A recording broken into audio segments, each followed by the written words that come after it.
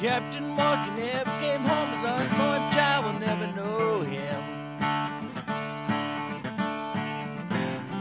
Believe him missing with a number of men. Don't expect to see him again.